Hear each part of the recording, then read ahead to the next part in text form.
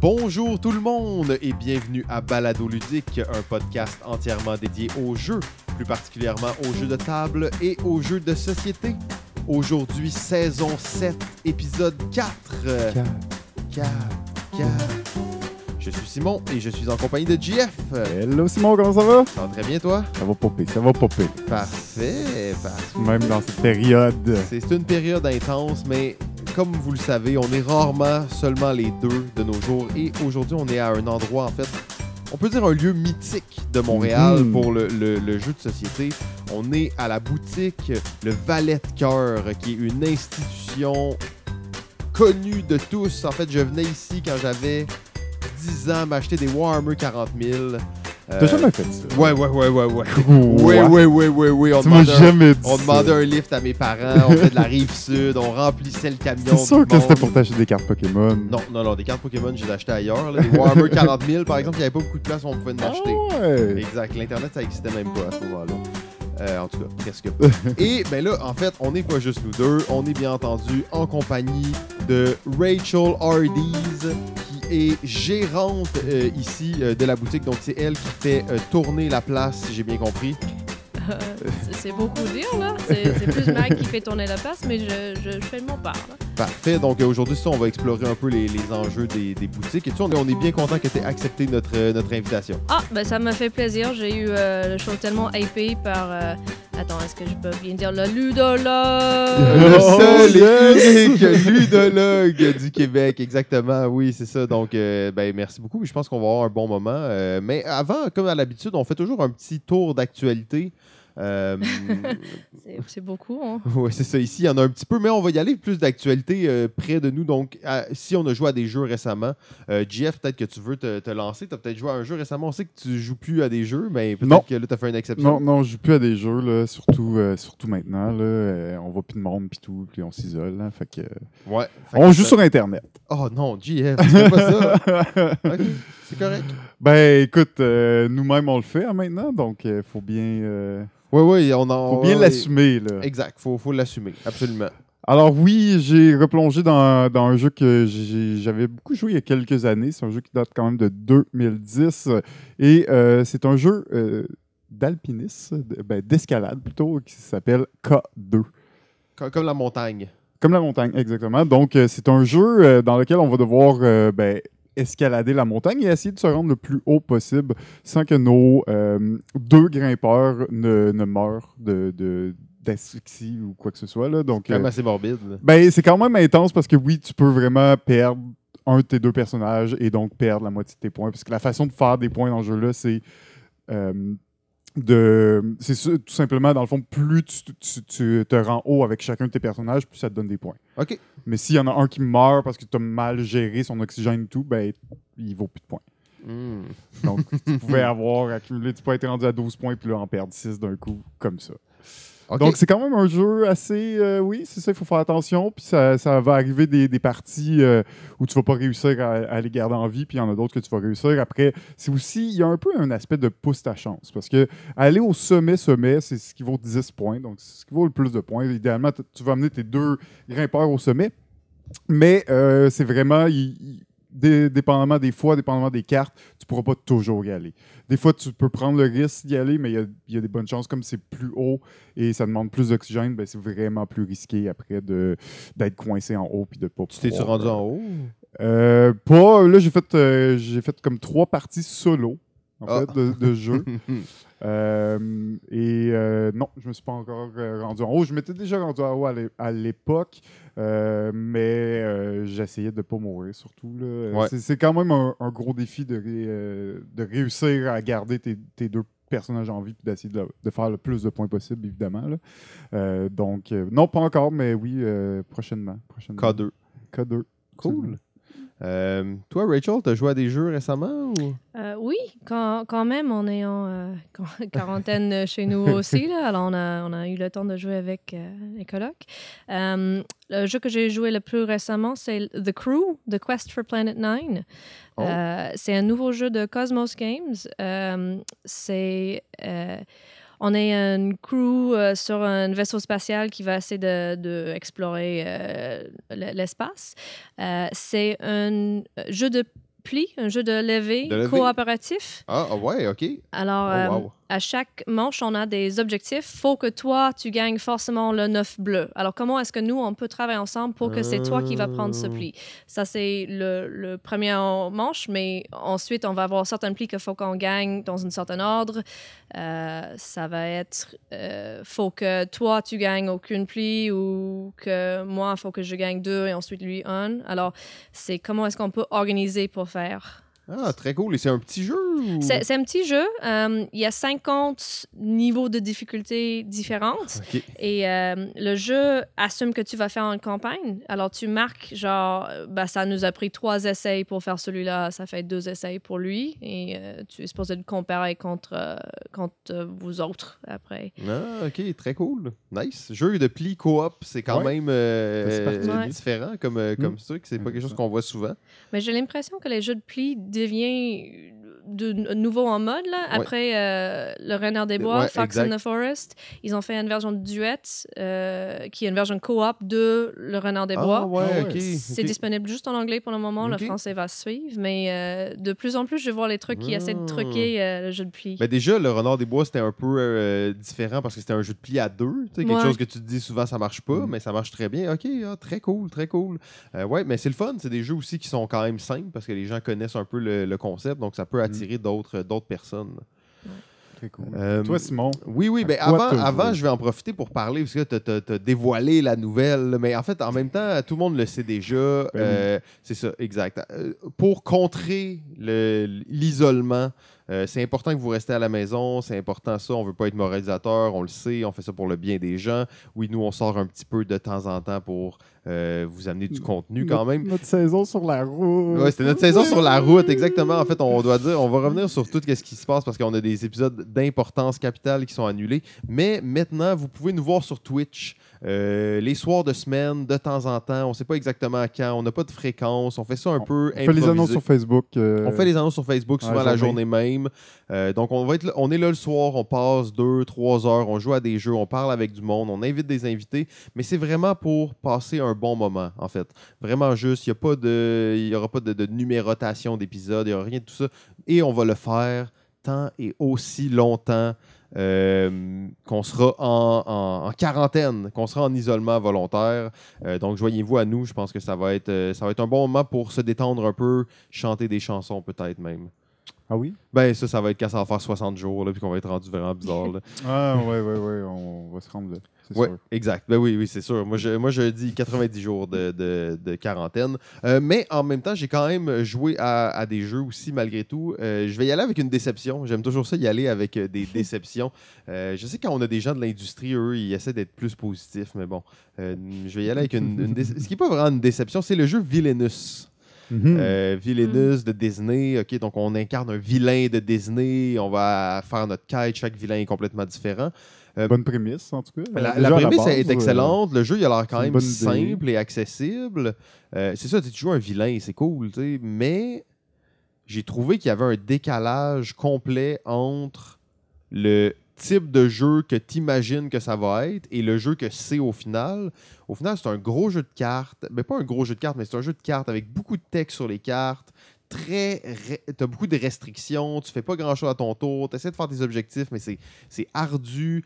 Euh, je jouais à ça avec ma femme, tu sais, puis on était comme, OK, on va jouer à un jeu Disney, tu sais, mais non, c'est pas ça. C'est comme un jeu de cartes, mais quand même corsé. Donc, j'ai trouvé qu'il y Mm. avait. un- C'était une déception, mais pas nécessairement que c'était mauvais, mais que c'était un, un décalage entre mon- mes attentes La par rapport au était jeu. bizarre par rapport au. Ouais, puis d'après moi, ce jeu-là, il va avoir un gros hype, mais je peux pas croire que ça va marcher, en fait, parce que les gens qui achètent ça, je peux même pas imaginer qu'ils vont, vont réussir à jouer.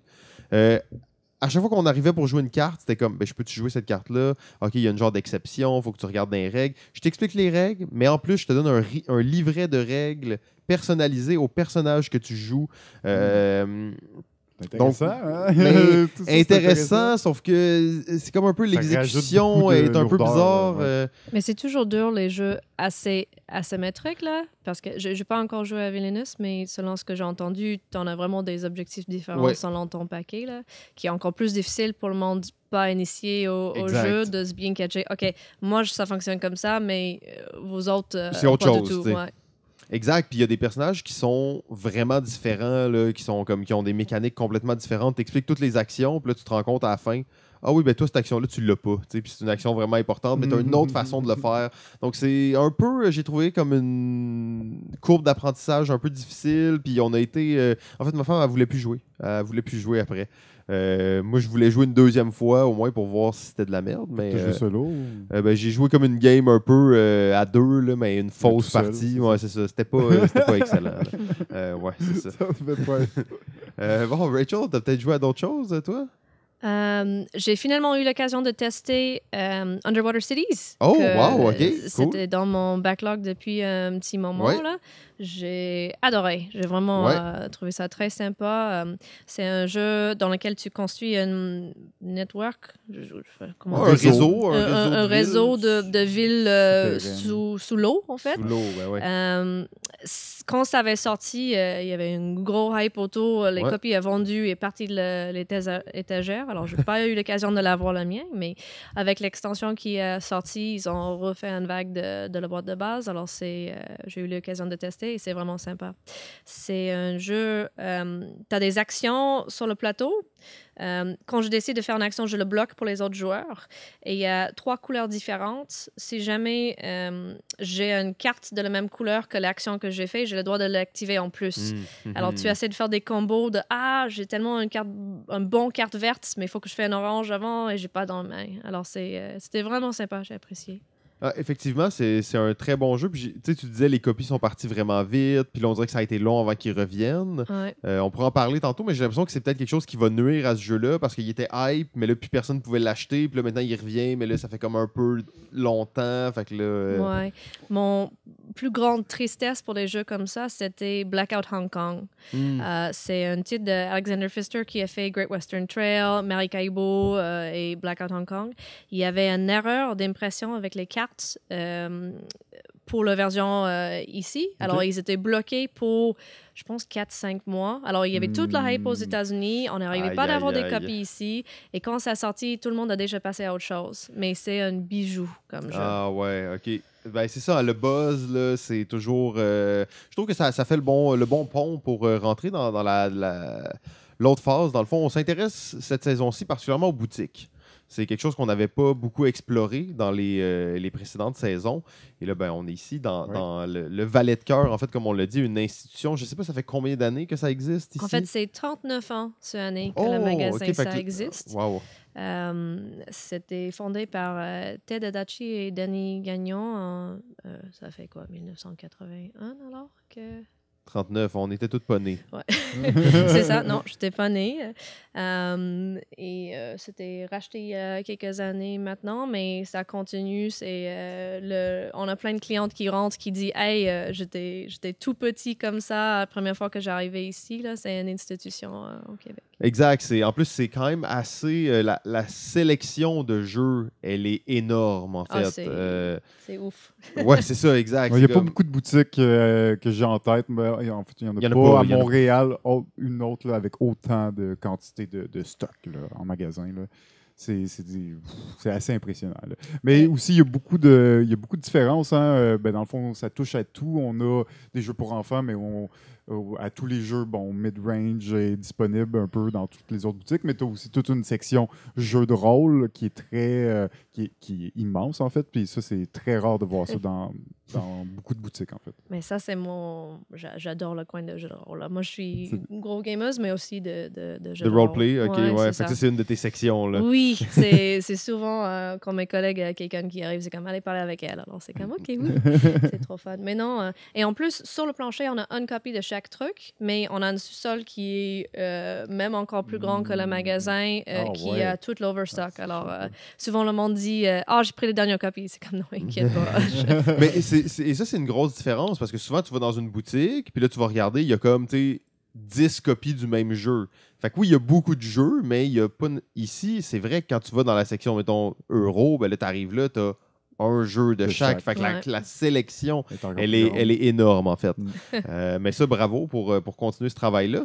Euh, aussi, je voulais te dire, t'es la, la, la- la première de ta, de ta sorte qu'on reçoit au podcast. Euh, Qu'est-ce que tu veux un dire? anglophone. Euh, un anglophone? bip! Il va falloir qu'on bip ça. Euh, ben, probablement, merci aussi de, de- de prêter au jeu en français. là. Je sais que tu parles très bien français, donc ça ne sera, pas, ça sera pas problématique, mais je tenais à le souligner. de, pour parler de jeux en français, excuse-moi. Ouais, ben, que tu sois là, puis que tu parles en Ah, ben, français. ça me fait plaisir. Je vais pas toujours comprendre ta question. Euh, je vais de- des fois répondre complètement croche avec. Ouais, c'est bon. On va euh, faire comme si de rien n'était. Ouais, c'est On- parfait. On continue. euh, que- ce que le monde dans ma vie fait d'habitude. Ouais, politically correct, il a pas de problème là-dessus.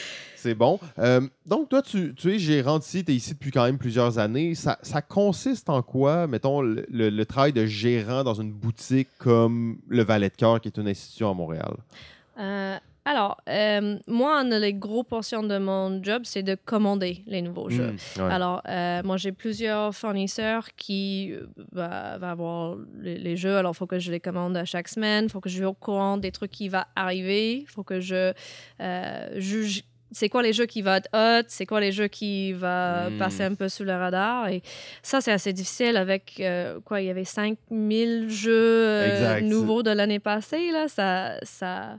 Avant, on avait un ou deux qui rentraient à chaque semaine et c'est comme, oh cool, il y a un ou deux. Maintenant, pff, des fois, le mur est rempli.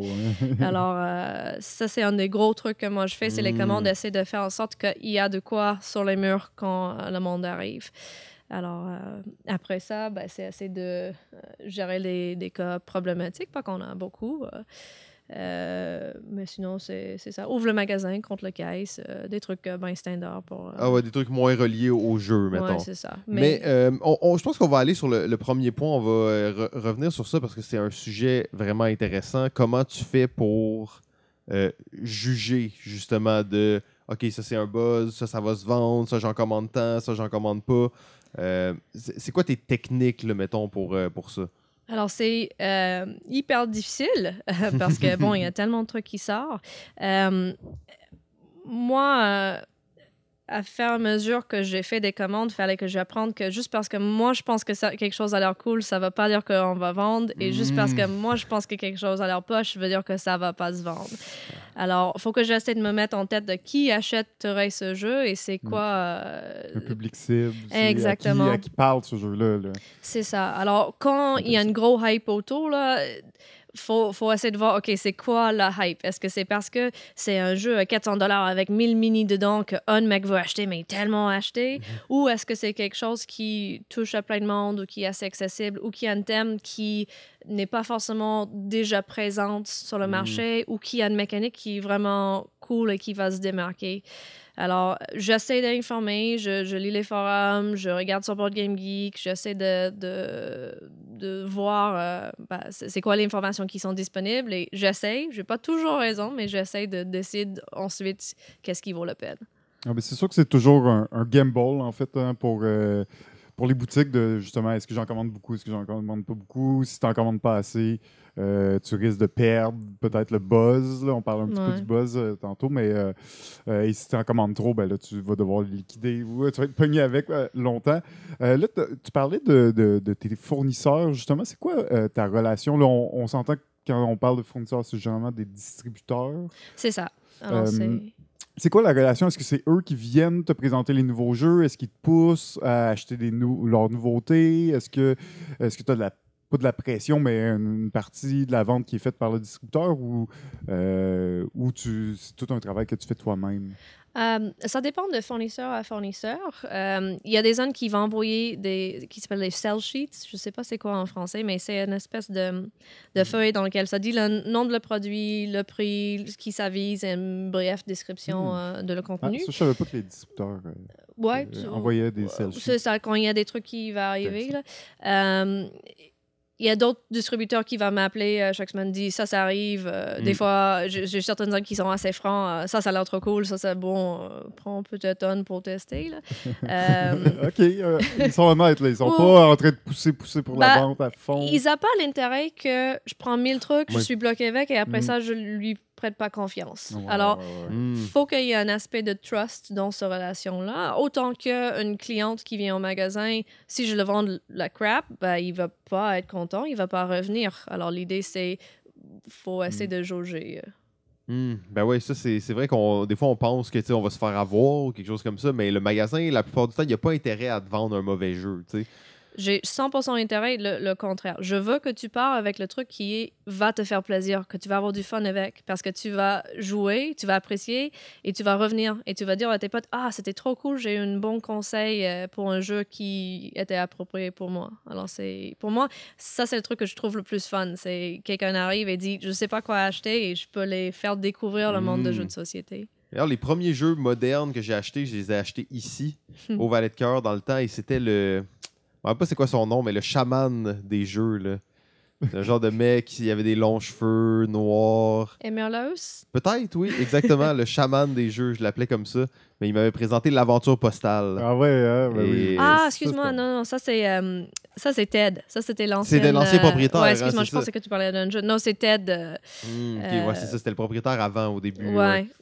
Ouais. L'aventure postale, ça a été un bon. euh, C'était un excellent jeu. Ouais, Bon choix. ça, ça fait que maintenant je suis, je suis là aujourd'hui. Ouais. C'est quand même fou quand on retrace ça, toute l'histoire. peu. Oui, oui, toi, ça a été plus difficile là, de te convaincre. là. Euh, et euh, c'est ça, c'est tout un défi après aussi de, de faire. Parce que tu parles des nouveautés, mais j'imagine qu'il faut aussi euh, jauger les nouveautés versus les, les classiques ou les jeux qui sont juste sortis l'année passée, mais qui continuent de se vendre là, quand, dans tes commandes? Oui. euh, alors, il y a certains trucs que faut que je fais gaffe que les ventes descendent parce que ça devient moins le mode ce, ce jeu-là et on essaie de commander en conséquence. Mais euh, les gros classiques, euh, ils restent classiques. C'est Ouais. pas- Mais est-ce que vous avez genre des, des- un, un fichier Excel de fou avec toutes les stats de qu'est-ce que vous avez vendé, vendu, puis les jeux sont catégorisés, card game, euro, toutes ces choses-là? Ou... Alors, euh, oh, je peux sortir des, des rapports comme ça. Et en fait, chaque, euh, quand je fais mes commandes le lundi, je sors un rapport de OK, ça, c'est tous les trucs que j'ai vendus Mm. dans la semaine euh, précédente. Je peux aussi regarder, quand je fais mes commandes pour Noël, je regarde pour euh, qu'est-ce que j'ai vendu, euh, genre, l'année passée. Et des fois, c'est drôle d'être comme Ah ouais, c'est vrai, ça, je vendais l'année passée. Et pas du tout maintenant. Ah, fini. Ou ce truc Mm. est. Le buzz est passé. C'est ça. Et du coup, j'en ai des trucs comme ça. C'est plus groupé par, par fournisseur parce que c'est comme ça que je les achète. Mais je peux aussi sous-divise, pas par genre de jeu, mais par compagnie, par euh, Qui habituellement est assez. Ça, ça. donne quand même une idée assez claire de quel type de jeu c'est. Ouais, exactement. Donc, c'est ça, on voit que c'est quand même tout un défi de, de gérer cette, euh, cette chose-là. Mais on parle que les boutiques, c'est le. Pas la fin de la ligne, mais c'est un peu comme une étape. euh, En fait, c'est comme la der- le- le- le- les premières lignes de l'industrie du jeu pour le grand public. C'est ça. Je suis un ambassadeur. Ambass... Ce mot-là, mais en français, c'est quoi? Ambassadeur? Ambassadrice. Ambassadrice. Ambassadrice, excuse-moi. Euh, oui, je suis la face publique des jeux. Quand quelqu'un rentre qui ne connaît pas le, le- le monde de jeux de société, ben, je suis là pour essayer de les guider. Mm. Euh, c'est en fait, euh, on a eu beaucoup de monde aujourd'hui euh, qui sont passés euh, justement parce qu'il va aller en quarantaine et il cherche des activités à faire.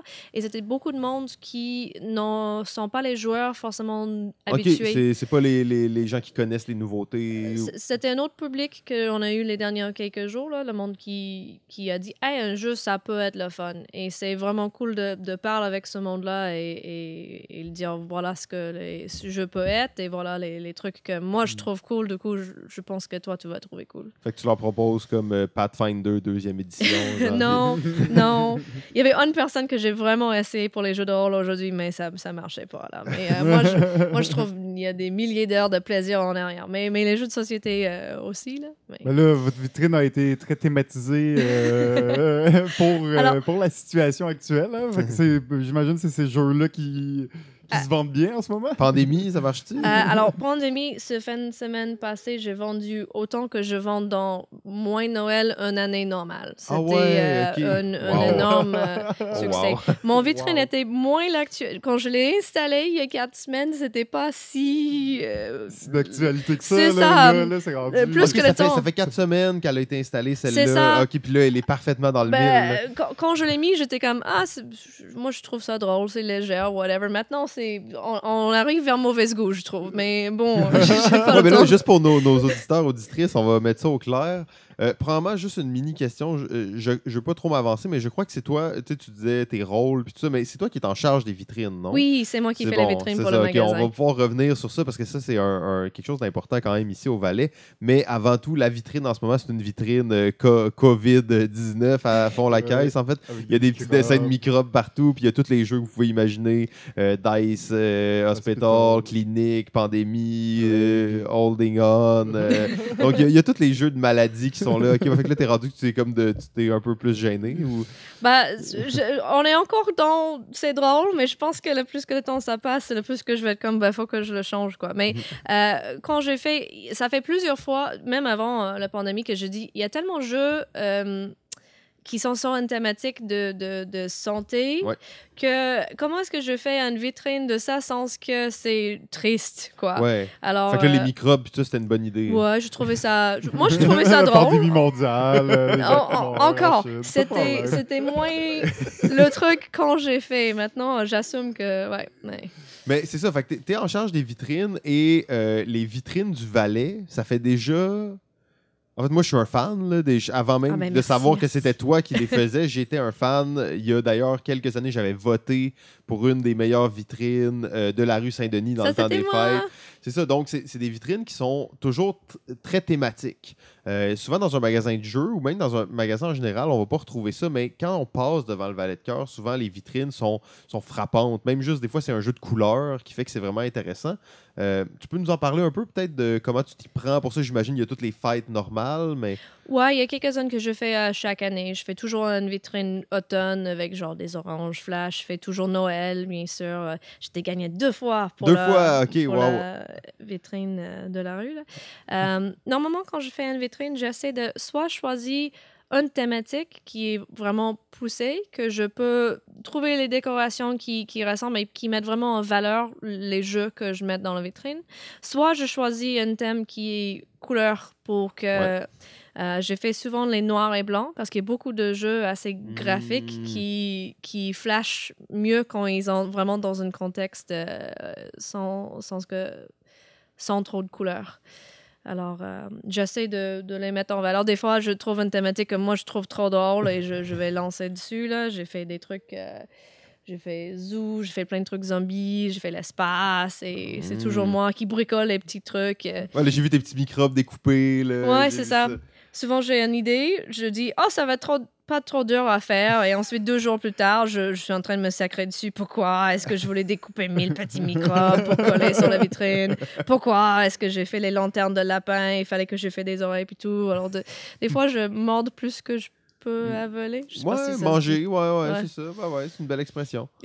Euh, mais aussi, qu'est-ce que, qu'est-ce que j'aime de ces vitrines-là, c'est que c'est pas nécessairement euh, les, les gros vendeurs qui sont là. Dans le sens que c'est. Oui, c'est des jeux que vous voulez vendre puis tout, mais c'est pas comme les quatre nouveautés du moment qui sont mis mur à mur. C'est vraiment juste des vitrines qui sont esthétiques. Ouais. Donc, c'est comme quelque chose qui va t'inciter à rentrer dans le magasin, mais c'est pas nécessairement. Tu veux pas rentrer à cause que tu veux acheter ce jeu-là puis tu l'as vu dans la vitrine. Tu veux juste rentrer parce que c'est invitant.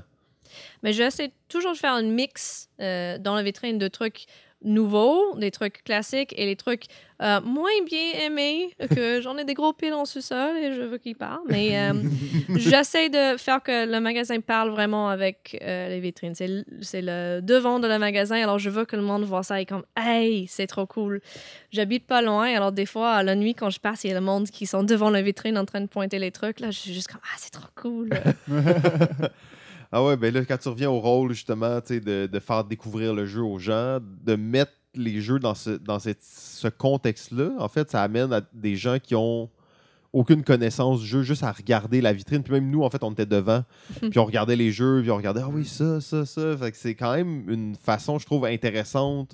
Euh, habituellement, dans une boutique de jeux, je veux pas euh, dire que les autres boutiques font pas bien ça, là, mais ils vont mettre les nouveautés, les gros jeux qui se vendent, euh, ce qui est toujours un peu moins excitant parce que dans le fond, tu vas les voir quand tu vas rentrer de toute façon.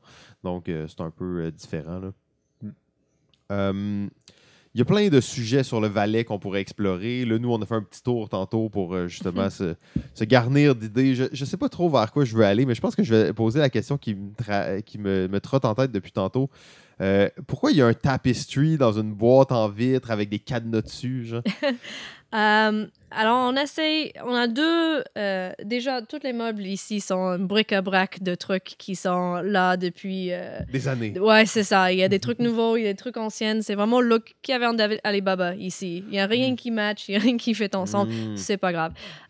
Les deux présentoirs qu'on a vitrés en avant, on essaie d'avoir deux jeux qui sont ouverts pour que tu peux voir le contenu parce que il y a il y a certains jeux qui ne vont pas parler juste de leur boîte, qui Ouais. va pas. euh, c'est vraiment de voir le matériel, de voir le, le travail qu'ils ont fait euh, dessus pour apprécier ce qu'il y a. Euh, alors, il y a Tapestry qui peut-être n'était pas la meilleure idée parce qu'il est tellement grand et il rentre pas dans son petit. Il rentre juste, euh, non? ouais, Il c'est ça. C'est- on pouvait pas jouer avec lui dans ce état-là, mais au moins on voit le, le travail qui allait dedans pour toutes les petites miniatures Ouais. qui sont peintes et tout. C'est fun de les voir euh, sortis. L'autre, c'est euh, photosynthèse qui est juste magnifique. Un- une photosynthèse euh, sortie, c'est c'est beau, euh, Mm. ça fait parler. Même si c'est pas forcément le jeu pour tout le monde, le monde voit ça, il dit c'est quoi ça? Tu expliques, c'est une porte d'entrée et ensuite on peut se ouais. discuter d'autres choses. Exact. Ah, j'ai- J'aime bien que tu as mentionné justement la, la caverne d'Alibaba.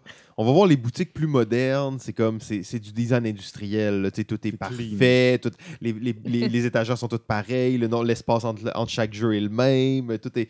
Et là, c'est vrai, ici, c'est comme. tu pourrais passer la journée. En fait, on, a, on a été dans votre section euh, bazar, là, où, comme, tu sais, les ventes. Là, puis, Ouais. tu sais, il n'y a aucun jeu pareil. Tu les regardes, ils sont tous un peu mélangés, mais c'est un peu le plaisir aussi de, de chercher, d'essayer de trouver, tu sais, comme Ouais. euh, un- la perle rare, tu sais. En fait, euh, parler de mes jobs euh, que je fais, je pense que le plus difficile, c'est de trouver le jeu que le client arrive qui est quelque part dans ce bazar. Faut que je rappelle, c'est quand la dernière fois que j'ai vu Sherlock Holmes? J'ai aucune idée. Genre, ah ouais, ok, les jeux un peu plus euh, obscurs, là. que- ouais, c'est ça que, ok, j'ai vu ça une fois dans ma vie. C'était où Ok, là. Et je, je suis trop content quand je trouve le truc perdu dans, euh, dans tout ça.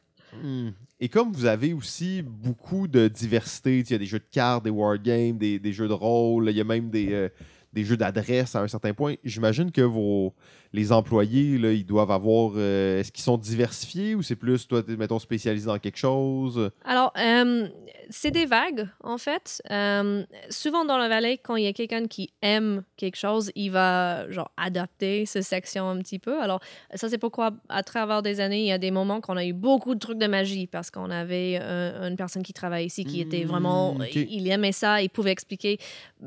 Quand on a moins ce personne-là, ben, on va un peu diminuer ce stock-là. Alors, euh, on essaie d'être le plus polyvalent, polyvalente possible, euh, mais c'est clair que tout le monde a leur petit euh, truc qu'ils connaissent mieux et on, aime ça dans le staff parce que ça veut dire que, bon, moi, je connais moins tel truc, mais je peux montrer mon client qui peut te, te parler de ça. Hmm. OK, fait qu'il y a quand même ça. il y a les, les employés ont un peu leur influence sur comment la boutique évolue. Puis... Ouais. Il y a une madame à la caisse, euh, Lucie, là, qui, a- qui connaît tous les terreaux. Elle, elle connaît, elle peut t'expliquer comment ça fonctionne. C'est un Euh, item euh, à la fois voulu mystique et dans le magasin mystique pour moi. Là. Les terreaux, quelqu'un a besoin d'aide, c'est comme, oh, c'est pas moi.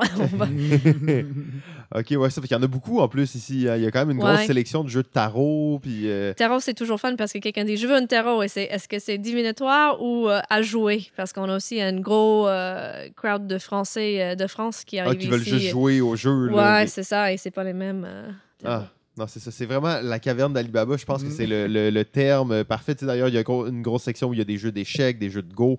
Euh, mon jeu de Go, je l'ai acheté ici là, parce que je savais pas où acheter ça. J'étais comme, ah, le valet de cœur, il y en a. Puis, euh, Ils ont tous aussi une section euh, carte Magic, Oui, j'imagine. hein? Le, le carte Magic en arrière, c'est une grosse section à part. C'est c'est cartes à collectionner, collectionner. Alors, il y a carte Magic, il y a Yu-Gi-Oh!, il y a Pokémon aussi. Il fait des journées. euh, ben, pas ces temps-ci, mais normalement, il fait des journées initiation de Pokémon pour les enfants, euh, les fansmen. Alors, Ah, mais JF, je pense que c'est comme ça qu'il avait découvert le jeu d'ailleurs. non, c'est pas comme ça. ah, ok. Et on a Warhammer aussi, qu'on n'a pas mentionné, mais qui était Ouais, toi, ouais, ton ouais, les là. figurines et tout ça. Warhammer, je me rappelle encore l'excitation que j'avais. On rentrait dans la vanne de mes parents, puis là, on allait, on achetait À ça. on- Montréal, c'est loin. À Montréal, là. on n'allait jamais à Montréal dans ce temps-là. Après, on allait chez nous, on peinturait les figurines. C'était c'était excitant quand même. Euh, mais on, on- juste revenir un peu sur la section euh, jeux de cartes, là, donc Magic, tout ça. Il y a beaucoup de boutiques qui existe seulement grâce aux jeux de cartes. Euh, Est-ce que c'est. J'imagine que c'est pas le cas du Valais, c'est juste comme une autre section? ou- Alors, c'est, une autre section. C'est clair que ça, ça fonctionne, mais Ouais. c'est pas par ça qu'on vive. là. Nous, euh, je pense que notre euh, pain et notre beurre, on dit ça en Ouais, tu français? connais tellement bien les expressions françaises. Je vais les lancer. Je vais arriver. Je vais faire un qui passe pas du tout. Tu me dirais. Mais c'est les, c'est les jeux de société là. Mais Ouais. Magic, ça fonctionne quand même bien. Ouais. Cool. Ben, en fait, euh, c'est une belle place. Et là, mettons, là, moi, je regarde ça parce qu'ici, c'est vrai que maintenant, je reviens à l'idée que c'est une boutique différente parce que les jeux sont tous différents. fait que là, si moi, je suis un éditeur de jeux, disons, et que je veux que mon jeu se vende Ouais. dans une boutique, mais particulièrement dans une boutique comme ici, parce que c'est ici que les gens y viennent, un- qu'est-ce qui fait qu'un jeu va se vendre en boutique? Euh, alors, il y a, il y a plusieurs trucs. Euh, déjà, la boîte. La boîte de le jeu, ça parle euh, tellement. Euh, il y a, moi, il n'y a pas plus grande déception qu'un bon jeu, mais dans une mauvaise boîte. Ah ouais, ok. Euh, il y avait un, euh, il y a deux ou trois ans, là, qui s'appelait Covert, qu'ils ont trouvé ça tellement malin pour le côté d'écrire en blanc sur blanc, euh, genre pour que tu pouvais pas voir parce que c'est covert, c'est sneaky. Mhm. Sauf, ça faisait en sorte que personne ne savait qu'il y avait un jeu là parce que ça se perdait tellement dans le. C'était juste blanc, tu voyais pas le nom. Oui, c'est ça, c'était blanc. Ben là, c'est une boîte vide, là. C'est ça. Euh, il y a un jeu euh, Tampica qui était de hum, Catharsis, Catharsis Games, qui- Feu Catharsis Games, là, qui trop bon. C'est vraiment sympa, mais c'était une boîte euh, jaune clair sur du jaune clair. Alors, Ah, monde, même, euh, même genre de problème. Ouais, c'est ça. Faut que ton jeu, il parle sur un étagère parce qu'on a tellement de jeux qui sortent, il y a tellement de trucs. Faut que ça se démarque dans une certaine manière. Surtout ici, que tout est sur son... son Le côté, Sur, ouais, sur c'est ça, côté, là. Alors, t'en as pas beaucoup d'espace pour parler, alors faut que tu fais euh, assez fort. OK, fait que même le côté de la boîte, on va parler souvent du devant de la boîte, mais le côté de la boîte euh, a une importance. C'est ça. Alors, euh, souvent ici, euh, soit le monde arrive avec ce qu'il veut. Il Ouais. va dire que, hey, mon pote m'a parlé de Size, je veux Sight. Ou, hey, mon pote m'a parlé de Betrayal at House on the Hill, je veux ce jeu-là. Soit il promène. Et ici, tu peux, comme tu as dit, promène. Promener longtemps, là. Ouais, c'est ouais, ça. Alors, pour le monde qui promène, il ben, faut, que, faut que ton truc il parle assez fort. euh. Soit il arrive et il demande pour un conseil. Dans ce cas-là, ben, je peux essayer de, les aider à. Ben, J'imagine, là, tu disais, il y a plusieurs raisons qui fait qu'un jeu va se vendre en boutique. Euh, J'imagine que le fait que les, les gens qui travaillent dans la boutique soient capables de, de proposer ce jeu-là, peut-être parce qu'il est simple, peut-être parce qu'il a été bien, euh, il a été bien marketé par le- la compagnie. Ou, euh, Ben, c'est ça. Le marketing, ça fait, ça fait beaucoup. Si un jeu est connu même avant que ça sorte, nous, notre job, c'est de savoir ben, c'est quoi à peu près ce jeu, même si on n'a pas eu notre main dessus. Hmm. Sur la section de nouveautés, on a le monde qui dit c'est quoi ce jeu-là? Si j'ai jamais entendu, si j'ai jamais vu, j'ai pas eu le temps de jouer encore, alors ça va être pas désolé. Mais si c'est un jeu que c'est. euh, Il y a déjà eu une buzz dessus, là, euh, ben, là, la personne peut arriver et moi, j'aurais aimé fermer à un certain niveau déjà. Alors, euh, et aussi, les jeux qui buzzent, souvent, le staff va être genre Ah, ça a l'air trop cool, alors j'ai envie de, de, de jouer, de tester. On va faire et on va être mieux capable de parler. Parce qu'on a déjà entendu, on peut laisser les autres savoir. Là, on, on approchait euh, graduellement du moment où on voulait aller. Euh, par contre, avant ça, j'avais, dommage parce que c'était un bon, une bonne transition, tout ça, mais j'avais quand même une question. C'est quoi ton le jeu que tu recommandes par défaut? là? Tu sais, quelqu'un arrive, puis c'est comme Ah, moi, je suis un nouveau joueur, euh, je veux jouer avec mes amis, on est quatre ou cinq, euh, on sait pas trop c'est quoi les jeux. euh, on... Ouais. Alors, c'est quoi le jeu que je propose le plus au magasin? Ouais. OK. Je pense que c'est une taille. Oh. Et euh, le 4 ou 5, déjà, ça, ça met un peu à l'écart parce que c'est 4, quatre joueurs, c'est, le, c'est les deux que je dis le plus. Mais moi, c'est Bandido et King Domino. OK. Ce sont des trucs euh, super faciles d'accès. C'est des trucs que n'importe qui peut jouer, que on peut expliquer dans 5 minutes. On peut se lancer dans une partie, mais on peut quand même jouer pas mal de parties sans être tanné. Alors pour moi, euh, c'est les deux trucs, je pense, Mm. que je propose le plus. Autant que c'est sur le côté beaucoup plus léger de Ouais, le ouais. spectrum. Si quelqu'un me dit que arrive et dit, ben, j'ai jamais joué à quoi que ce soit, euh, voilà, je veux quelque chose de fun, ça, je suis certain qu'on peut avoir du fun. Hmm, cool. OK. Et est-ce que tu as un bon. euh, les gens, est-ce qu'ils sont contents habituellement? Ils reviennent après. Puis... Ouais, en, en général, c'est, c'est, je, j'ai, souvent, si j'ai quelqu'un qui a l'air pas trop sûr quand il part, c'est comme, ah, je suis pas sûr. Je dis, reviens me dire. J'adore quand quelqu'un revient et dit, ça, c'était trop bien ou ça, euh, pas du tout. J'ai beaucoup plus de trop bien que pas du tout. Alors, ouais. c'est ça.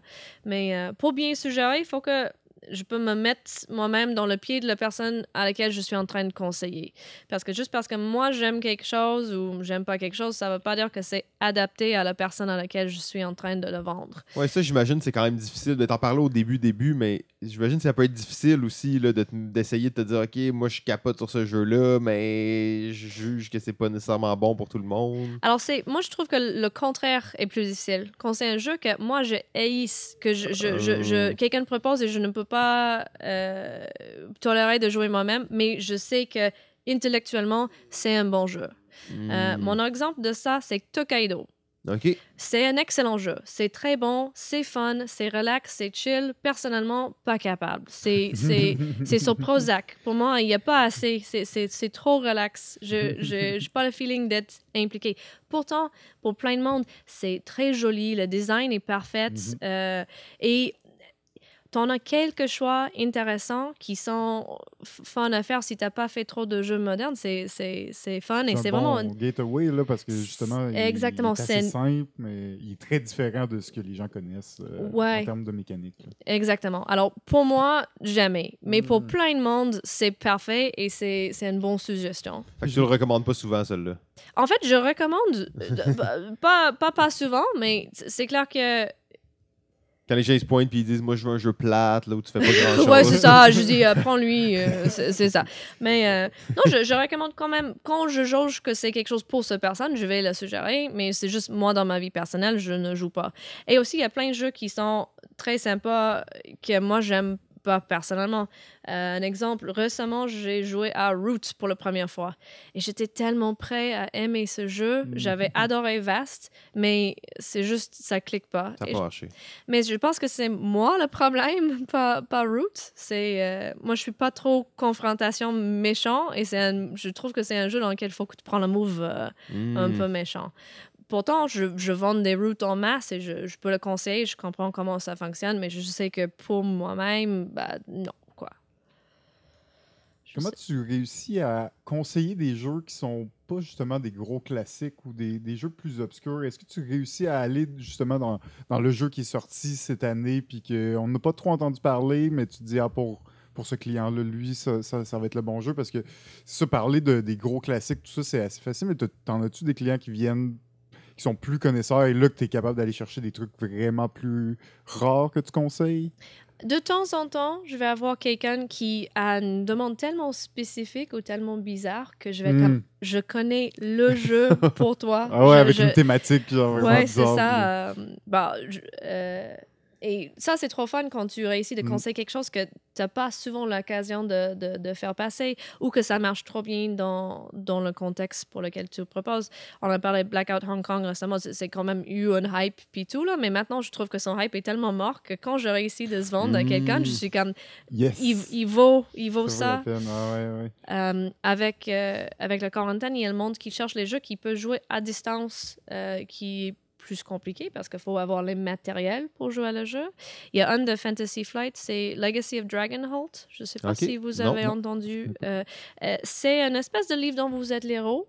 Euh, c'est il y a un scénario qui est préécrit. Tu crées un personnage et tu vas faire des choix. Il y a six scénarios qui sont là-dedans.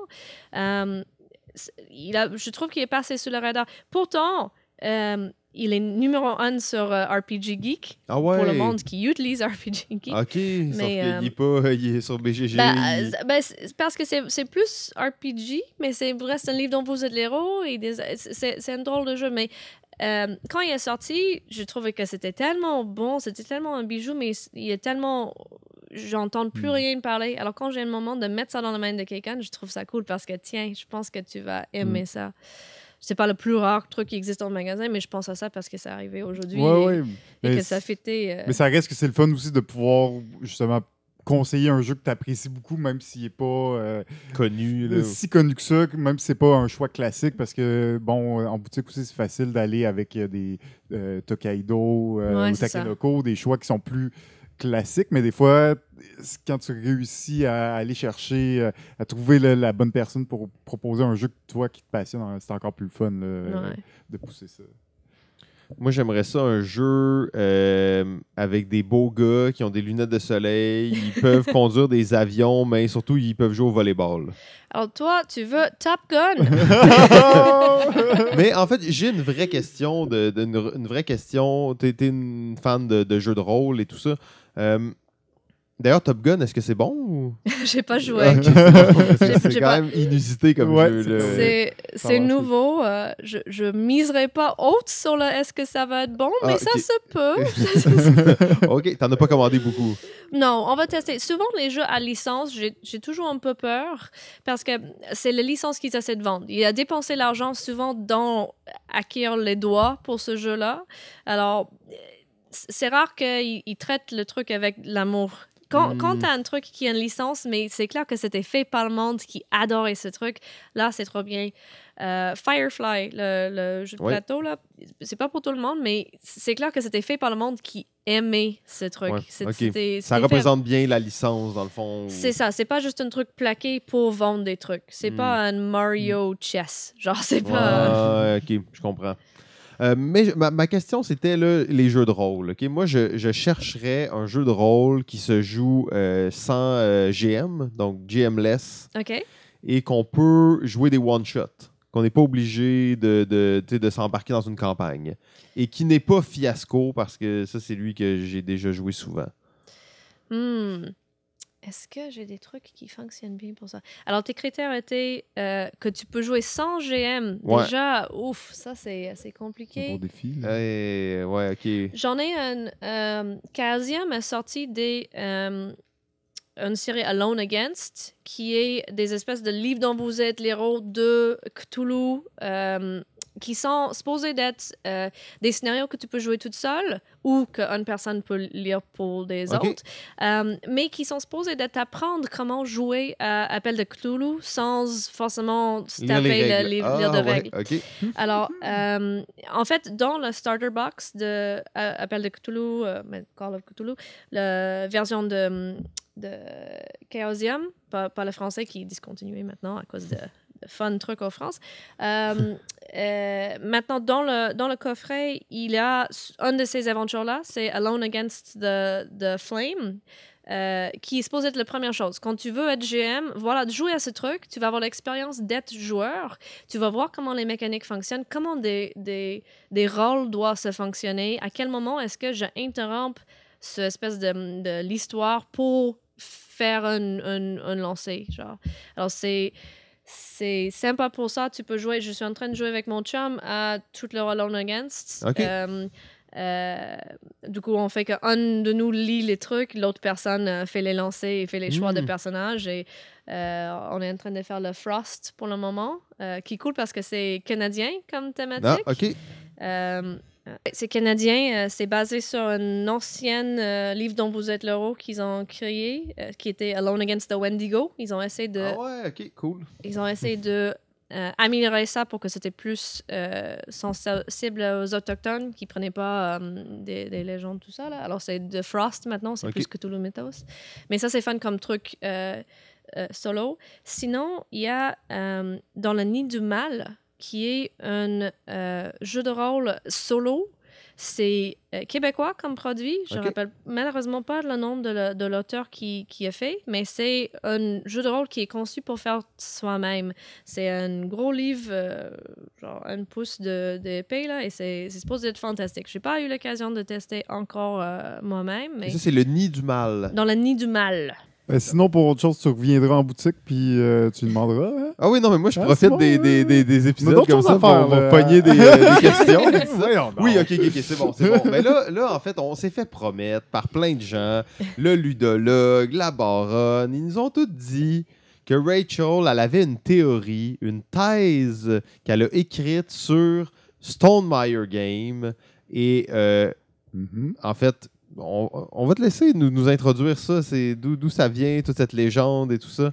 Alors, euh, c'est en publication. J'ai parlé avec euh, UDM et on, on va essayer de. Non, c'est vraiment, euh, c'est vraiment un truc que j'ai fait. euh, j'ai développé dans mon coin et je me suis tellement auto-convaincue que j'ai raison sur ce truc que voilà, j'ai une thèse de, de Stone Meyer Games. Euh, ça, c'était né autour de Wingspan quand ça Ouais. avait sorti. Euh, Wingspan, euh, comme vous êtes au courant, je suis sûre, là, Oui. c'était une grosse folie euh, de l'année passée. là. C'était assez intéressant comme jeu parce que c'était une auteure femme, Ouais. c'était une thématique qu'on voit pas souvent, Mhm, c'était un design qui était très joli.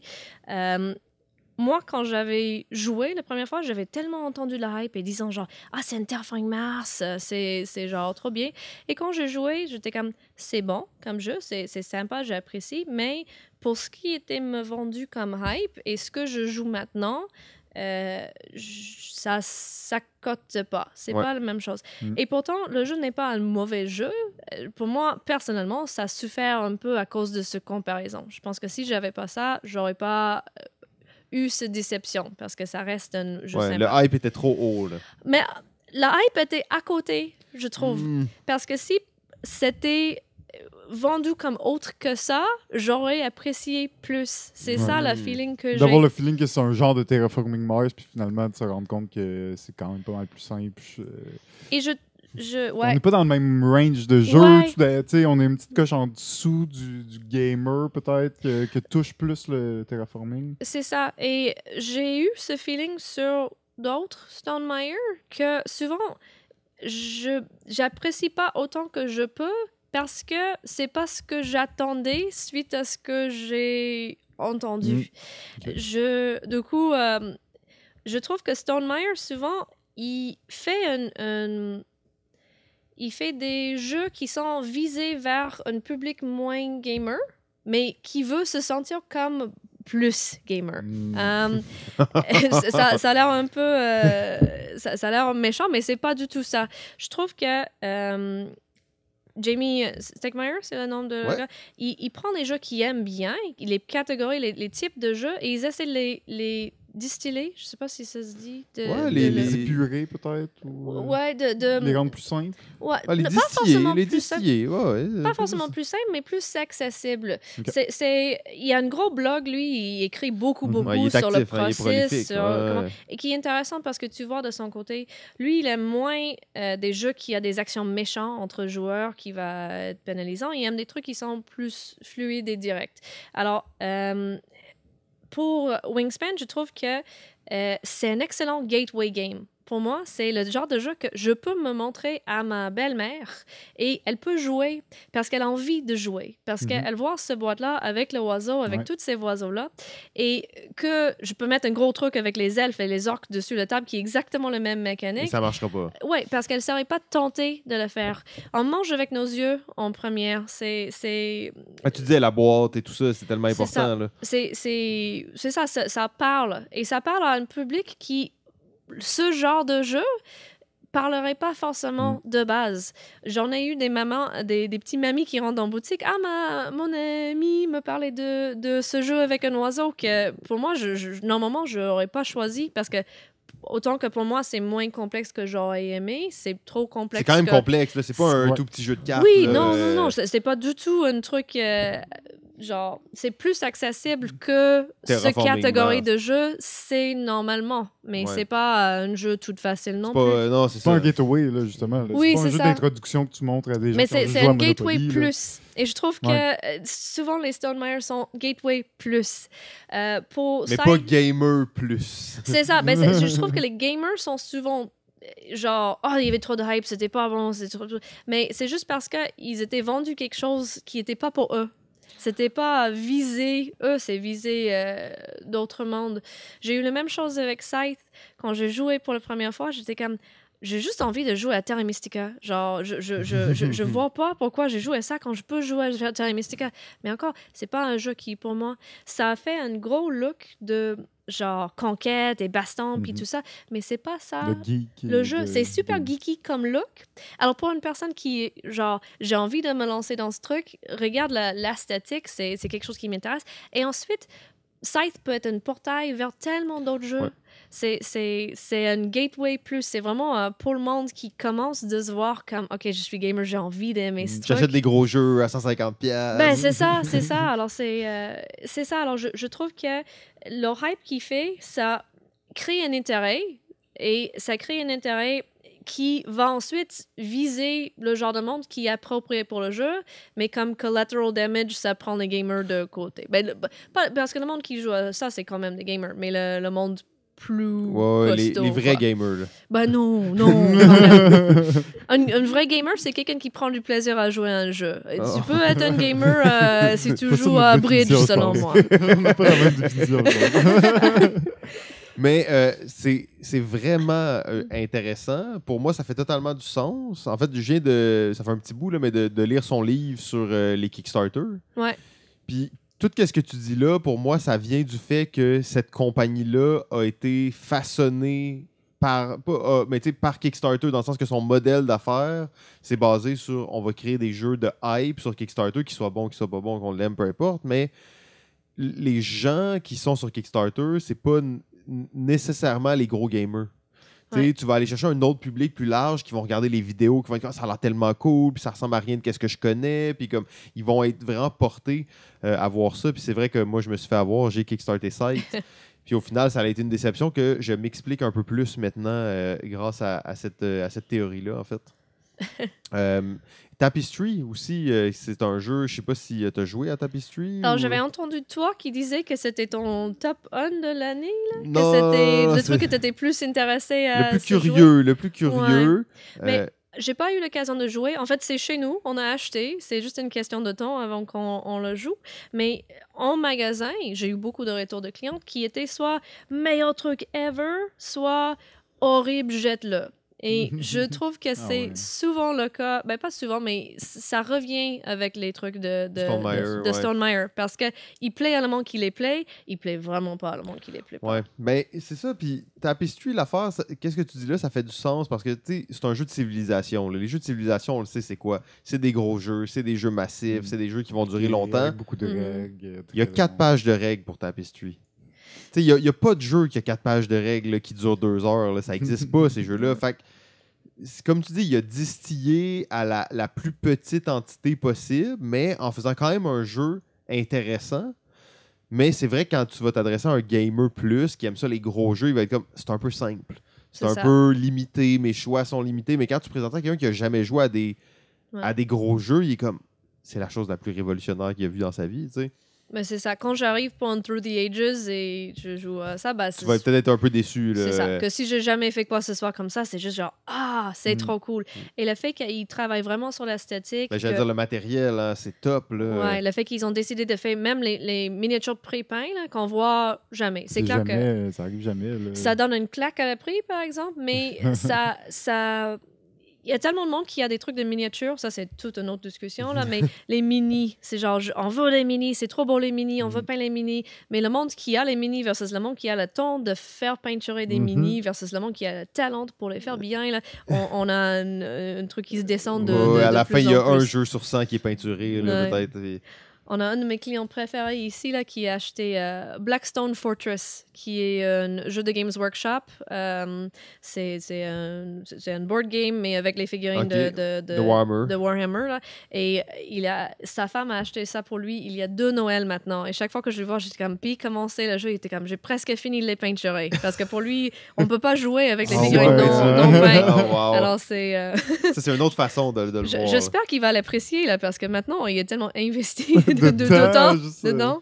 Mais des fois aussi, y a- y ça reste que dans ce hobby-là, et là, on, on détale un peu, mais jouer, c'est pas nécessairement euh, le plus grand plaisir. Tu sais, des fois, ça peut être de peinturer, d'assembler tout ça. Là. Mais la raison pourquoi quelqu'un a acheté un jeu peut être plein de trucs différents. Des fois, c'est l'objet. Des fois, c'est la collection. La collection, ouais. Moi, j'ai une collection de, de jeux chez nous. C'est des jeux basés sur des plantes. Chaque fois qu'il y a un nouveau qui rentre dans le magasin, je l'achète parce que je peux pas m'empêcher. je sais pas pourquoi. Alors, j'en ai plein. Et c'est pas les trucs qui sortent le plus euh, non, dans il y en a, mon- j'imagine, qui sont moins bons. ou- Oh, absolument. Là. Il y a des zones qui sont sympas, mais chaque fois qu'il y en a une qui sort, là, je suis enchaîne fleuriste. J'adore ça. Je trouve ça trop bien. Ça juste me rend heureux. Alors, je les achète et ensuite, je les joue pas avec. Et c'est. J'aime juste avoir ça comme Mm. objet. Il y a plein de monde pour lequel c'est le cas, que c'est l'idée de collectionner les jeux. Euh, alors, ça, ça, ça peut être un truc. Pour les trucs qui sont mini figurines puis tout ça, là, c'est, c'est une activité en soi. C'est pas jouer à le jeu. Ben, ça peut être jouer à le jeu, mais c'est aussi je, je crée quelque chose, je, je personnalise ce, ce, ce jeu. Je pense que c'est de là ça vient le, le mode de Legacy aussi. C'est l'idée que je suis impliqué dans le truc. J'ai, j'ai mon propre marque que je vais laisser. Et il y a le monde pour que c'est juste le plus fun truc possible. euh, Donne-moi un bon jeu, quoi. C'est... C'est intéressant de voir ça, qu'il y a plein de raisons pour lesquelles tu voudrais acheter un jeu. Là. Euh, mais Tapestry, ça reste c'est un des jeux, un jeu magnifique. C'est juste le fait que les coins soient ronds sur le plateau, ça, ça, ça change Oui. tout. Là, Oui, oui. C'est- hein? Mais c'est pensé, c'est ergonomique. Genre, les, les, les trucs qu'eux, ils font, c'est vraiment tout a été fait avec soin pour penser comment est-ce qu'on peut améliorer ce produit que, qu'on va livrer. Là. C'est. euh, dire, je pensais que tu allais dire comment est-ce qu'on peut décevoir le plus possible les gens en leur faisant croire des choses. illusionner le plus possible. Comment on peut comme- créer la meilleure illusion que possible. Ça va être un jeu pour eux alors que c'est pas pour eux. Mais c'est. Ouais, non, ça, ça reste des bons jeux. Je, je ne suis pas en train de, de les tracher à ce point-là. Et ils n'ont pas eu que des succès. Il y a d'autres, il y a des trucs, euh, Stonemeyer, qui sont allés un peu en dessous de leur radar quand même. Leur euh, Between Two Between Cities. Two Cities, exact. qui euh, moi j'adore c'est mon Stonemeyer préféré de, de, de loin là ça fonctionne très bien c'est un jeu un peu plus costaud qui joue à 7 déjà euh, tu, tu m'as Mm. vendu parce que il y a tellement peu Ça de n'existe ça. pas, ben ouais, c'est ça. c'est un jeu de développement où tu travailles avec les, les joueurs Ouais, à c'est ta ça, droite ton- et à ta gauche. ouais exactement. Alors c'est accessible mais c'est intéressant. Il y a, il y a de quoi se croquer ça se dit pas. Il, il- tu put your teeth in nous. Je- Non, mordre dedans à dents, dedans, mais ouais non en tout cas, pas grave. il y a des ouais, anglophone anglophone excuse-moi Mais euh, ben, en même temps, ça reste quand même une des compagnies que j'ai le plus d'intérêt à suivre. Qu'est-ce qu'ils font et qu'est-ce qu'ils vont faire pour la suite. C'est clair, et c'est tellement intéressant de le côté de production, de le fait qu'ils changent toujours leur façon de, de, de livrer leur produit final. Ils ont eu la misère un peu avec le niveau de hype, puis il y a beaucoup de monde qui les en veut pour ça. Mais euh, quand tu vas sortir un jeu, comme, comme je dis, tu peux jamais savoir euh, exactement à quel point ça va Mm. être euh, accepté par ta public cible. Tu sais pas à quel point la hype va rouler, tu sais pas à quel point euh, ça va fonctionner. Alors, avec le Wingspan, quand ça a sorti, euh, le monde disait bah là, il fait des pénuries euh, fausses, il a juste imprimé. Mais qui aurait su qu'un jeu sur les oiseaux aurait fonctionné On autant? avait gagné le spiel. en ben, c'est ça. C'est, c'est, je pense que si ça arrivait il, il y a cinq ans, là, le monde aurait aurait pas été prêt à accepter ça. Mais les jeux, Mm. ça devient de, de plus en plus un truc pour tout le monde. Ouais. Et ça, c'est, ça, c'est bien. Le fait que euh, de plus en plus de monde a envie de passer du temps ensemble, d'être assis autour d'une table. Alors, si moi, il faut que je joue à un jeu que moi, j'aime pas forcément pour faire en sorte que tous ces autres mondes peuvent rentrer, ça me fait plaisir, quoi. Ah, tellement Oui. Il y, a de, il y a de plus en plus de gamers qui veulent montrer, euh, introduire des amis, de la famille, euh, des gens qui sont moins habitués, puis il en faut des, des bons jeux, puis des jeux qu'on apprécie aussi Ouais. euh, dans, dans ce niveau-là. Puis euh, ben, c'est ça, Wingspan, pour moi, c'est un jeu qui, qui est facile à montrer à des vraiment des, des joueurs moins habitués. Là. Je, je parle de gens qui ont quand même joué à quelques jeux, mais que c'est pas non, non plus des habitués. Euh, mais euh, c'est ça. Pour vrai, les jeux de Stone Meyer, il n'y a pas beaucoup de. J'en ai pas fait beaucoup de parties, puis il n'y a pas beaucoup de, de gamers, très deep gamers qui. On dirait qui, qui s'attachent à ça au, au bout de la ligne. Là, je pense que Side, c'est peut-être l'exception parce qu'ils ont continué à sortir du matériel. En fait, puis le- du matériel, puis ils ont réparé les manques de le premier avec les extensions. Il y a, il y a Mm. beaucoup de stocks qu'ils ont ajouté qui rendaient ça plus complexe. Là. Ça, ça reste que c'est, c'est, pas pour moi, mais c'est- ils, ils- ils travaillent pour répondre dans le monde aussi. Là. Ben, à suivre. Euh, Mais merci beaucoup de nous avoir partagé cette théorie-là. Je pense que c'est intéressant. Ça, ça m'éclaire aussi. Ça me donne un autre pan de, de ce, ce mystère euh, qu'est Stone Meyer Game. Parce qu'on se rappellera que cette année, qu'est-ce qui est arrivé? Ils ont engagé leur premier employé à temps plein. fait que c'est quand même impressionnant de penser Ouais. que jusqu'à maintenant, c'était bon, plus ou moins une personne qui a fait ça. Euh, c'est pas rien non plus. Euh, J'ai une admiration pour, euh, pour le- le- l'homme, en fait. hein, parce Mm. que au final, tout ce que tu dis, c'est vrai, mais c'est pas nécessairement volontaire, probablement. Tu sais. Bah, moi, je pense.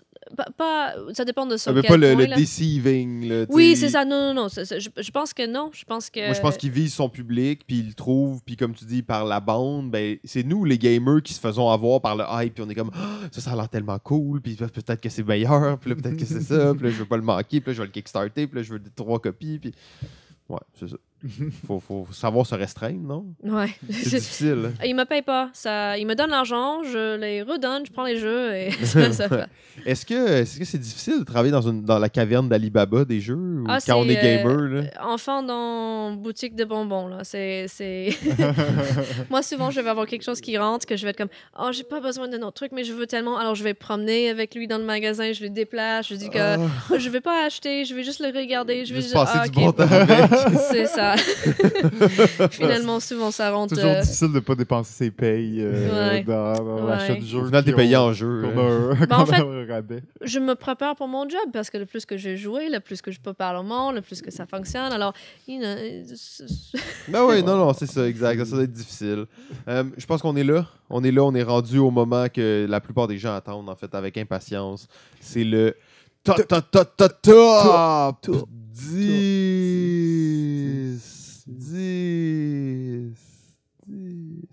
Alors, euh, bon, euh, tu peux peut-être nous parler un peu de ton top 10? Oui. Alors, euh, est-ce que je t'expose les ordonner ou c'est correct si c'est juste une. une- Ah non, non, mais là, on a besoin de 10, 9, 8, puis après le numéro 1 de Ah. tous les temps, le meilleur jeu que tu as joué de toute ta vie, qui va jamais être, indétro- qui va jamais être détrôné. Puis... D'accord. Ça, c'est fixe là, dans le béton. Ouais, ouais, ça bougera plus jamais, ça. J'étais tout à fait prêt pour ça. Alors, euh, laissez-moi juste. Là, on voit euh, qu'elle est sur son téléphone, là, on voit la- les gouttes de on commencent à apparaître sur son visage. Euh, c'est parfait. Alors, on va y aller sans plus tarder avec le numéro 10. 10. 10. Alors, euh, numéro 10, euh, j'allais avec un jeu de Eagle Griffin Games, c'est Sleuth. Oh, oui, OK. Mm, Ouais. Classique cool. de déduction. C'est Euh, un jeu classique de déduction. Euh, moi, j'ai grandi dans une maison euh, avec. euh, on, on jouait à des jeux de société euh, beaucoup, mais euh, on était tous mauvais perdants. On Ah, était euh, dans, dans la maison. Et le jeu préféré de ma maman était Clou. Elle a adoré Hmm. ce jeu et c'était banni dans ma maison depuis que j'ai genre 8 ans parce qu'elle gagnait à chaque fois.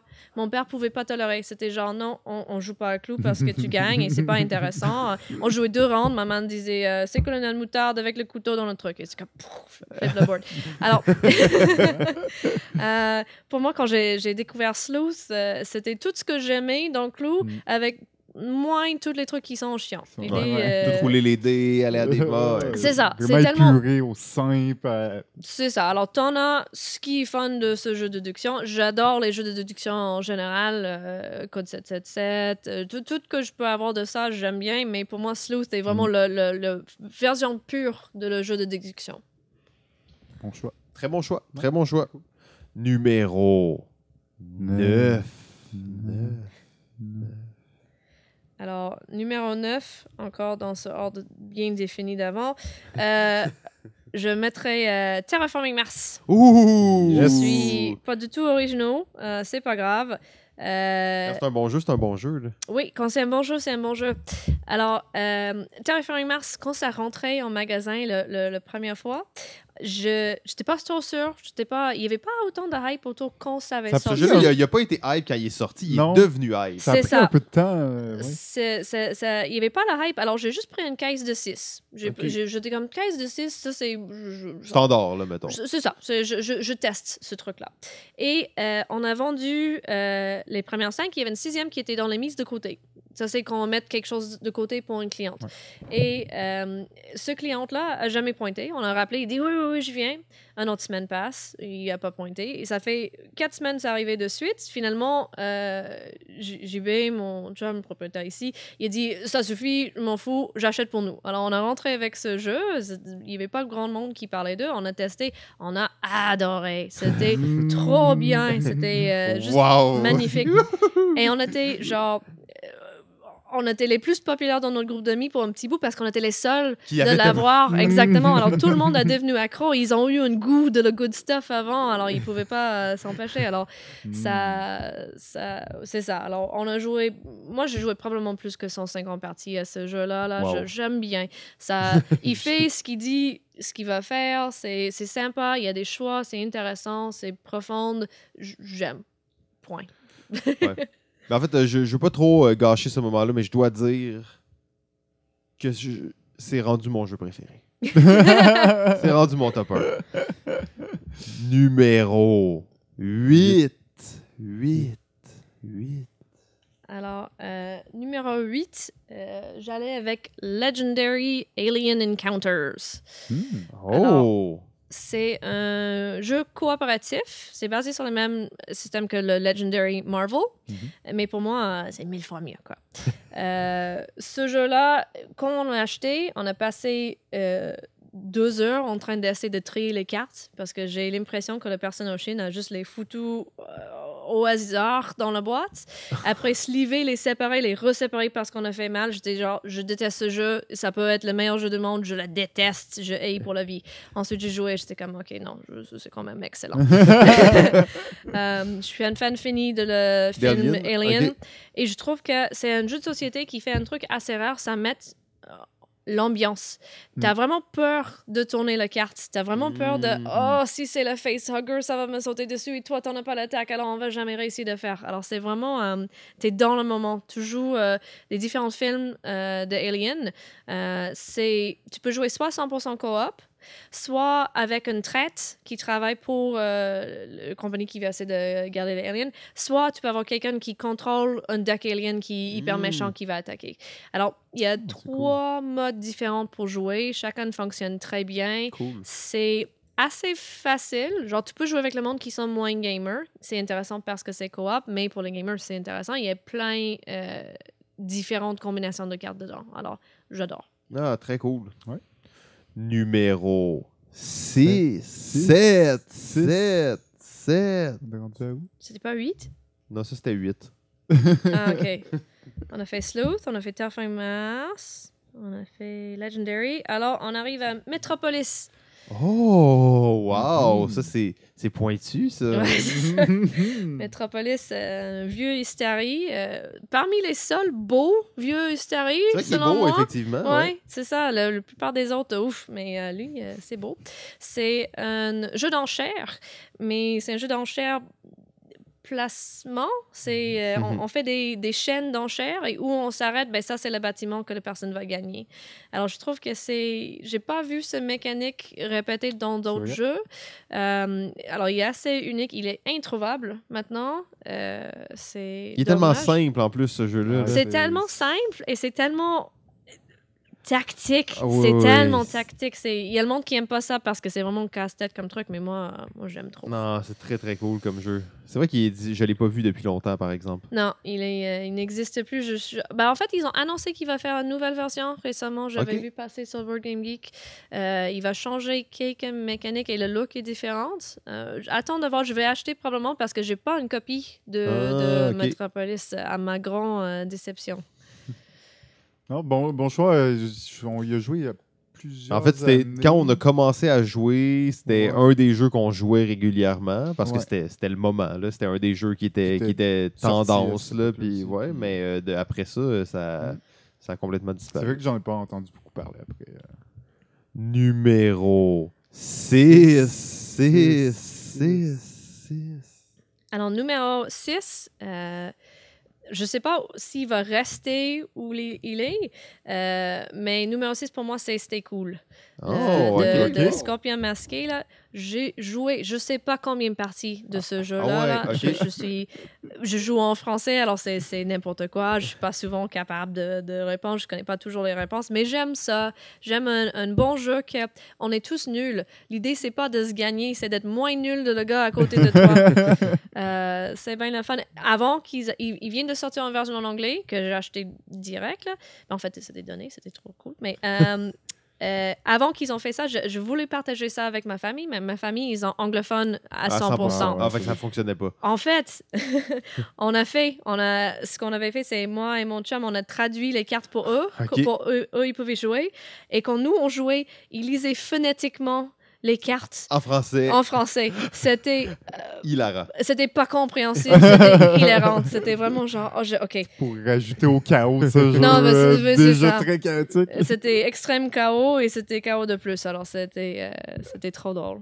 Mais euh, bon travail euh, de Scorpion. Ah ouais, non, c'est Ouais. c'est un bon jeu. Puis je trouve, tu sais, quand on, on voit ce jeu-là qui est présenté, on se fait tout le temps présenter la première partie du jeu. Tu sais, Il y a comme trois parties dans le jeu.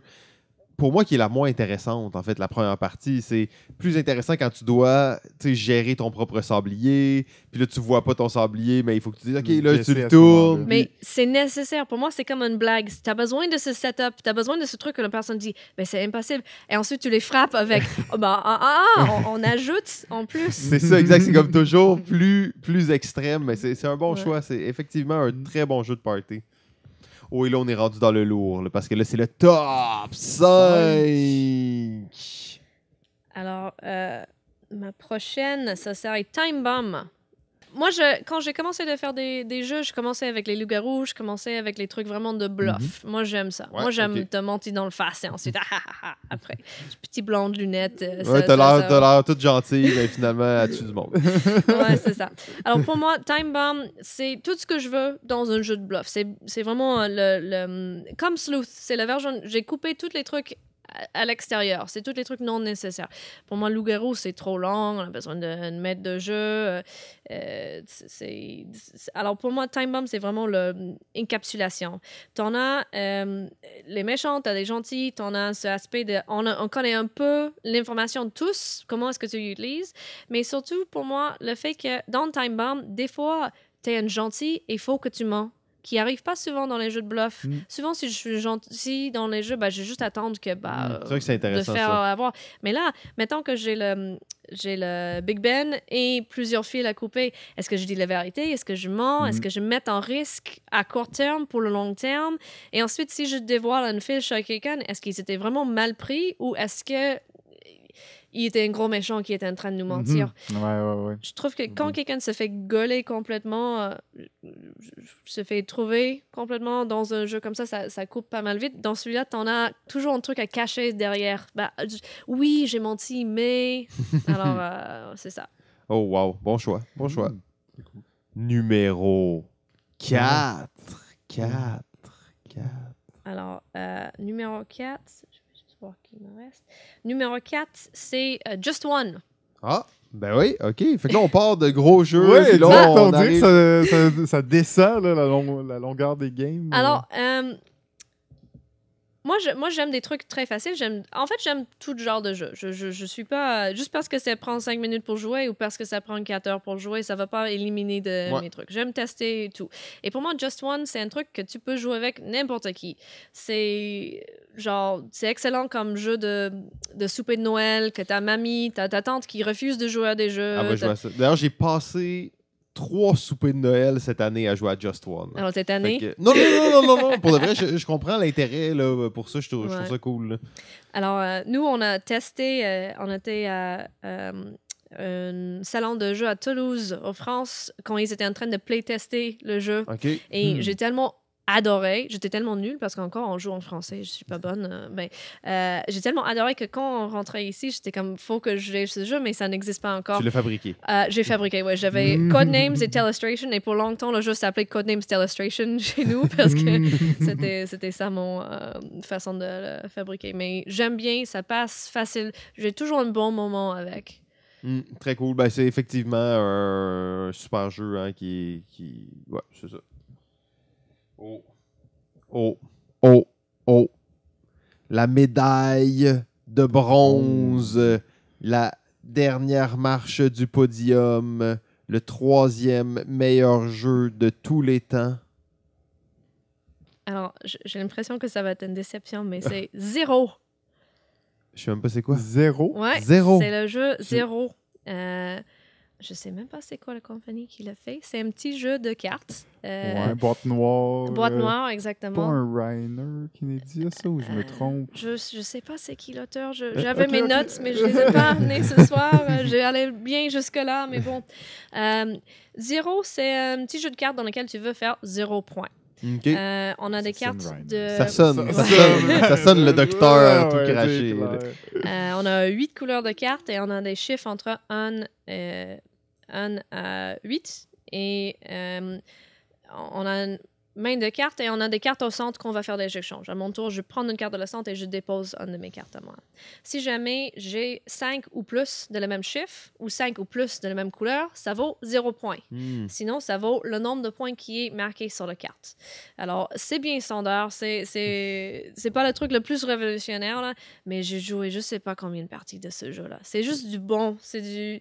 Des fois, tu as envie d'un repas élaboré euh, avec plein de trucs. Des fois, tu as envie de macaroni et fromage. Et c'est mon... C'est, mon... C'est ton macaroni fromage, Ouais, c'est là, ça, mais il c'est- fonctionne bien. Puis... C'est ça. Mon chum, il est tanné comme ça se peut pas. Mais euh, pour moi, si on sait pas quoi jouer, ben on joue à zéro. Oh, nice. cool, cool. Ben ouais, Jeff, tu vas-tu nous confirmer ça? Je- ou- je- ouais, non, Donc c'était effectivement un jeu du docteur. Oh, yes. euh, le docteur, euh, superbe boîte, hein, une belle boîte noire.